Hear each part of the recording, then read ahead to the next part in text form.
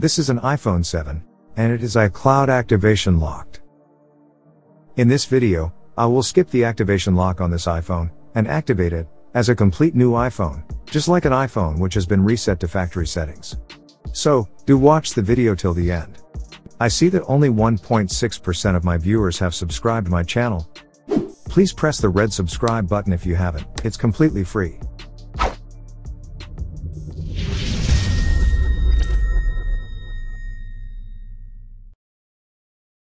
Firstly, download the tool from the link given in the description below.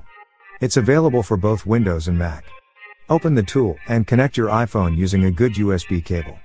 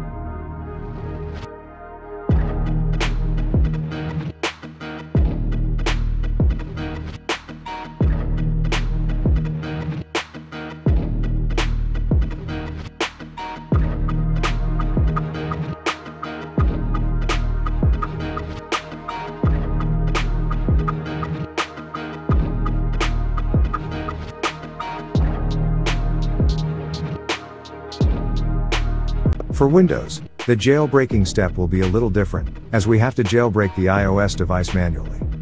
I will explain the process for Windows in another video very soon. Thanks for watching. Like this video and feel free to comment.